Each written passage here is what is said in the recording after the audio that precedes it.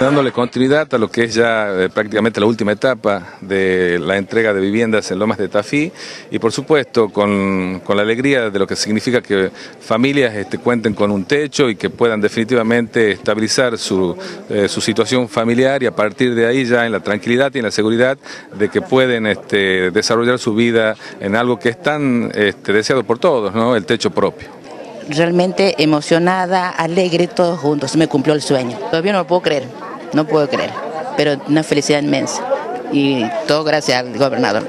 Bueno, son todas las acordes al plan federal, que hoy financiadas por Techo Digno, todas son de dos dormitorios completas, con su infraestructura pública y privada.